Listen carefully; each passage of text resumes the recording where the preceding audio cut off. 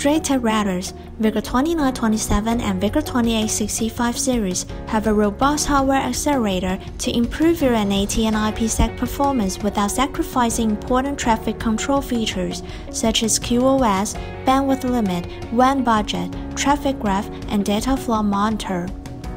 Typically, CPU handles all traffic and session through the router, and the total performance is up to 800 megabit per second with single or dual WAN hardware accelerator can process up to 8,000 NAT and routing connections, delivering 940 megabit per second with single WAN and 1.8 gigabit per second combined throughput with dual WAN.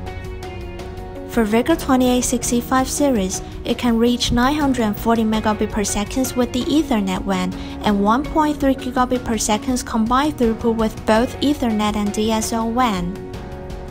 More importantly, the accelerator includes hardware QoS. VoIP is always in first priority. With few clicks, your business critical apps will be prioritized. Last but not least, hardware IPsec can accelerate up to 16 IPsec tunnels and increase performance from 290 megabit per second to 800 megabit per second, which is 2.8 times faster first 16 established tunnels are automatically accelerated. If any of the 16 tunnels is disconnected, a new tunnel will be put into accelerator automatically, topping off 16 tunnels.